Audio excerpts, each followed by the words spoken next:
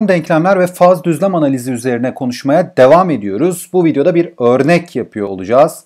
Örneğimiz ne olsun? Şöyle diyelim. y'nin türevi eşittir y çarpı y eksi 1 çarpı 2 eksi y. Böyle bir diferansiyel denklem için, diferansiyel denklemi için diyelim, için. İlk olarak y'nin türevi y grafiğini çizelim. Grafiğini çizelim. Çizelim ve çözüm eğrileri çözüm eğrileri tahminlerimizi yapalım. Eğrilerini tahmin edelim. Daha sonra denge çözümlerini bulalım. Denge çözümlerini çözümlerini ve kararlılık durumlarına inceleyelim. Kararlılık durumları diyelim. Durumlarına bakalım.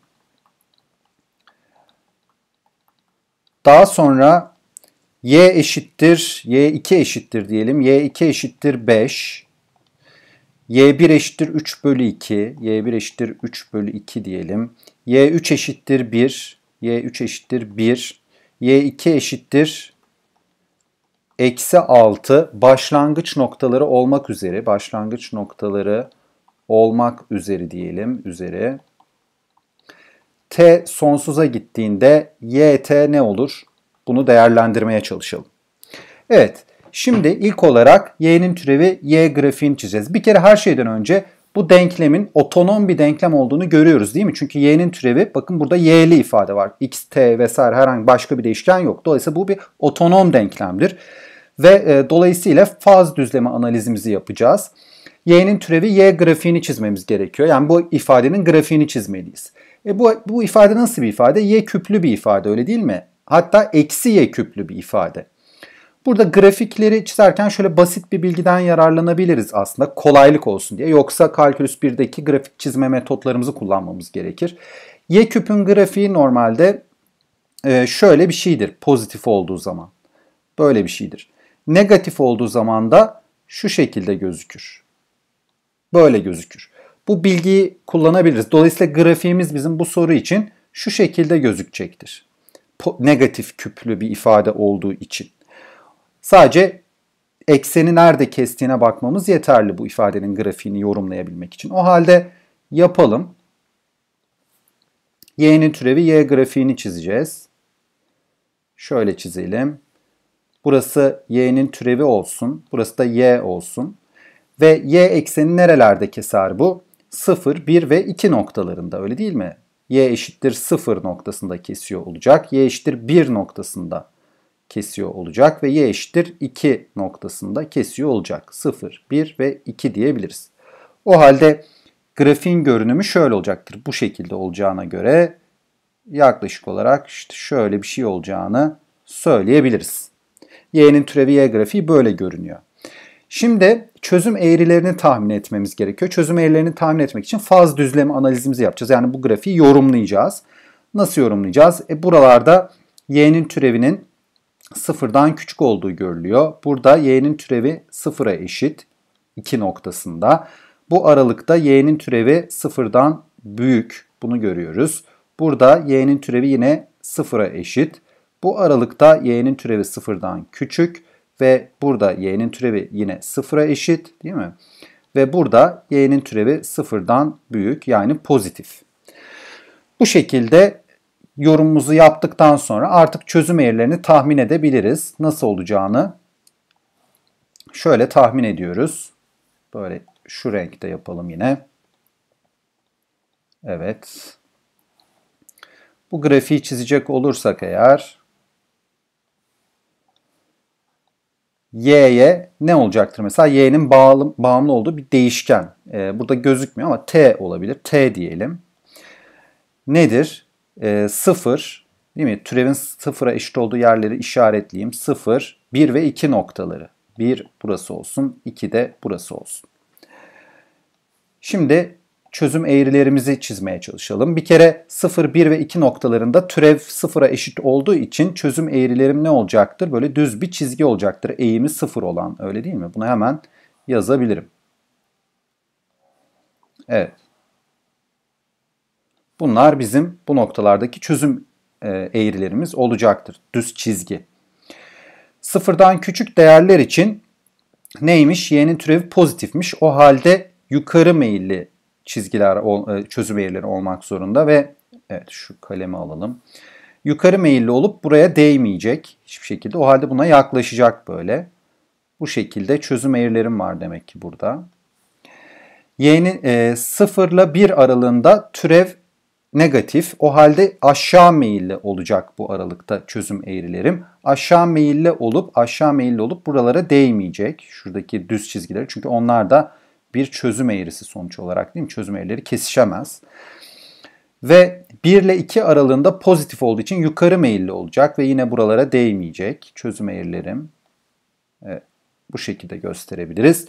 Ve 2'den büyük olduğunda 0'dan küçük olduğu için ne olacaktır? Aşağı meyilli çözüm eğrilerimiz olacaktır. O da bu şekilde gösterilebilir. Evet. Bu şekilde çözüm eğrilerimizi tahmin edebiliriz. Şimdi denge çözümlerine ve kararlılık durumlarına bakalım. E, denge çözümlerimiz ne olacaktır zaten? Türevin sıfıra eşit olduğu çözümler olacaktır. O halde y eşittir 2, y eşittir 1 ve y eşittir 0 bizim denge çözümlerimizdir. Değil mi? Bu doğrular, bu çözümler e, ne, ne diyelim? Bunların hepsi bizim denge çözümlerimizdir. Denge çözümlerimizin ne olduğu gözüküyor zaten. Şimdi denge çözümlerinin kararlılık durumlarına bakalım.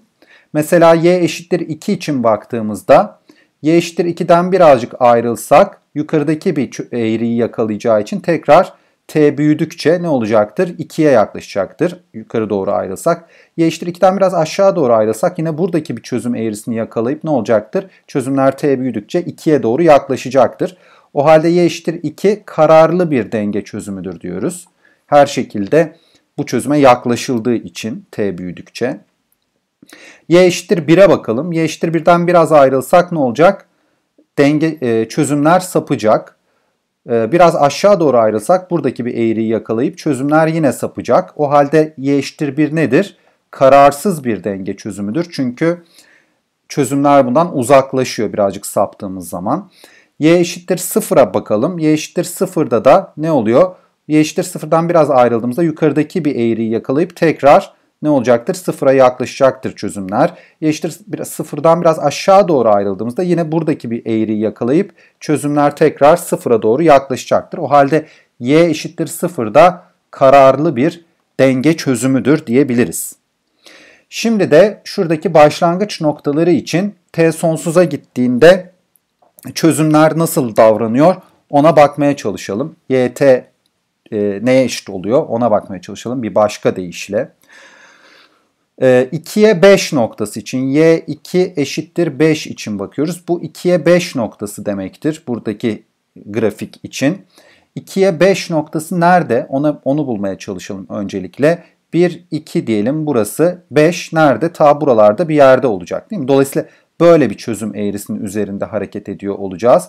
E böyle bir çözüm eğrisinin üzerinde hareket ederken de eğer t'yi sonsuza götürürsek yt ne değerine yaklaşacaktır? y de 2 değerine yaklaşacaktır değil mi? Bu eğri üzerine bu eğri 2'ye yaklaşıyor çünkü. Evet y de 2 değerine yaklaşır demek. y ya da yt. yt de 2 değerine yaklaşıyor. Limitini bulmuş oluyoruz. Yani t bunu şöyle de yazabilirdik değil mi? Limit yt t sonsuza giderken ne oluyormuş? 2. yt ya da y de yazabilirdik. Şimdi de e, neye bakalım? y1 3 bölü 2'ye bakalım. y1 eşittir 3 bölü 2 için 1'e 3 bölü 2 noktasına bakıyor olacağız. 1'e 3 bölü 2 noktasını bulalım öncelikle. 1 mesela böyle buradaysa 3 bölü 2 de neresi? Şurası şuralarda bir yer. Dolayısıyla bu tarzda bir çözüm eğrisinin üzerinde olacaktır e, noktamız. Tabii onu çizmiyorum. Yani şurada da böyle bir çözüm eğrisi olduğunu düşünebilirsiniz ama Böyle bir çözüm eğrisi olacak bu. Ve e, t büyüdükçe, t sonsuza doğru gittikçe bu çözüm eğrisi de nereye yaklaşacaktır? 2'ye doğru yaklaşacaktır. Öyle değil mi? O halde yazalım. t sonsuza gittikçe y de yine 2'ye doğru yaklaşır diyoruz. E bakın neden? Çünkü iki kararlı çözüm noktası, e, çözüm e, denge çözümü öyle değil mi? Aşağısında ya da yukarısında e, ki e, çözüm eğrileri buna yaklaşıyor. Burada da zaten onu görmüş oluyoruz. Dolayısıyla şunu diyebiliriz. Limit t sonsuza giderken bu durumda y'nin değeri yine 2 oluyor. 3'e 1 noktası için bakalım duruma. 3'e 1 noktası. 3'e 1 noktası nerede? 3'e 1 noktası şunun üzerinde değil mi? Dolayısıyla e, bu eğri üzerinde hareket edeceğimize göre t sonsuza giderken y de ne yapacaktır? Her zaman 1 olacaktır. O halde onu da öyle yazabiliriz. Limit t sonsuza giderken bu noktadan başlarsak y'nin değeri 1 olacaktır. Tabi burada şunu söylememiz gerekiyor. y e, burada e, y eşittir bir kararsız bir denge çözümü olduğu için aslında gerçek hayatta böyle bir durumla karşılaşmayız. Yani t büyüdükçe devamlı bir değerini alacağımız bir durumla karşılaşmayız. Çünkü dış faktörler olacaktır ve dış faktörler bu birden birazcık bunun sapmasına neden olacaktır. E birazcık sapınca da ne olacak? Buradaki ya da şuradaki yukarı ya da aşağı sapmasına göre e, eğrilerden bir tanesini yakalayacak ve e, y e, t büyüdükçe de ne olacak? Ya sıfıra ya da ikiye doğru çözümlerimiz gitmeye çalışacak. Dolayısıyla çözümler devamlı aslında kararlı denge çözümlerine doğru gitmeye meyilli olur t büyüdükçe. Kararsız denge çözümlerini e, genelde gerçek hayatta görmeyiz diyeceğiz. Bu çözümleri elde etmeyiz. Çünkü dış faktörler e, bunun e, devamlı birde kalması etki. Bir azıcık zaten farklı olsa değil mi? 1,01 olsa şu yukarıdakini yakalayacak. E, birazcık aşağıya insem bu sefer aşağıdakini yakalayacak. Dolayısıyla bunu e, şu şu durumla gerçek hayatta karşılaşmak imkansızdır diyeceğiz. y2 eşittir 6 için bakalım. y2 eşittir eksi 6 için bakalım. Ee, şimdi de y2 eşittir eksi 6 neresi olacaktır? 2'ye eksi 6 noktası. Yani 2 e, şurası ise eksi 6 da burası. Aşağıdaki bir çözüm eğrisinin üzerinde olacak bu sefer. E, burada da aşağıdaki çözüm eğrisinden de ne yapacak? T büyüdükçe sıfıra doğru yaklaşacağını görüyoruz. Dolayısıyla bu da t sonsuza giderken y de sıfıra doğru yaklaşacaktır diyebiliriz. Limit t sonsuza giderken y burada sıfıra yaklaşır. Bu şekilde ifade edebiliriz diyeceğiz. Evet bu örneğimiz bu kadar olsun. Bir sonraki videoda bir, bir tane daha örnek yapıyor olacağız konuyla ilgili.